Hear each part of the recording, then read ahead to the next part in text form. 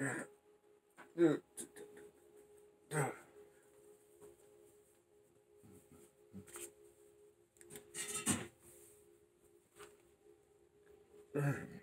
reading from the New Testament, a King James trans, a translation of the King James version of the New Testament by the by the Gullah people, the Gullah culture. This is a Gullah Bible. As usual, we find a we find a place in the Bible, any place. Just turn a page. Sometimes I turn a page, I don't like what I see. Well, I, don't, I mean, I, I'm not feeling it, so I turn another page. Let me see if I'm feeling. If I do like this, I guess I'm feeling this. Okay. Uh, page, page uh, 528. Uh, this is Romans 6. Uh, this is uh, 16. I usually do derivative, derivatives of 3, but 16 is 7. You know, 6 and 1 7. So I'll do 7 this morning. Why not?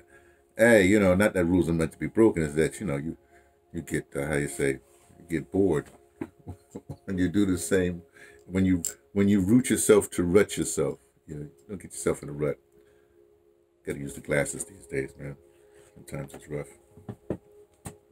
As you may or may not know, I, I do these readings every morning because I'm, I'm, putting myself in the headspace of like if I was, uh, how do you say, uh, if I was uh, just freed from slavery, I just got my liberation, and I wanted to learn to read. The only thing thing that's prevalent all over the place is the is the Holy Bible, you know, the Christian Holy Bible. So,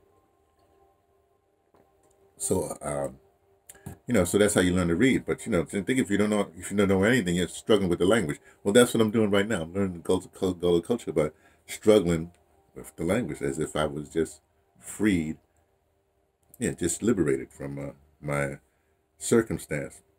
Okay. 16 this is going to be pretty long, so be patient. On a note that if ye give yourself for be slabby to somebody, for do all with that person, till ye for do, that mean for say ye de sebi or ob the person e sab anti somebody's some some some way so if ye get yourself yourself far be sebi to sin for do we e say the sin gon make ye dead but for but if if ye get yourself far be sabi to God, far do ye do ya ye say, God gon make all things right between self and honor. 16, Rome 6, Rome 6, 16. Know ye not that to whom ye yield yourself servants to obey. Ye servants ye are to whom ye, ye obey, whether of sin unto death or of obedience unto righteousness. That's heavy. Man, I gotta let that one sink in. I mean, usually does do this twice, you know. Let's go. Here's the, uh, again, this is the Gullah translation of this, uh, of the New Testament of the uh, Gullah Bible, well, the King James Version of, of the uh, Scriptures. On the note that if ye get yourself far be sabi to somebody, for do all with the person tell for to do. That mean for say ye the sabi on the person is ye the save ain't he? somebody some some way so if you get yourself for be saved to sin for do what ye say that sin gon make ye dead but if ye get yourself far to save to god far do what ye say. God gonna make ye thing right, uh, right between self and owner.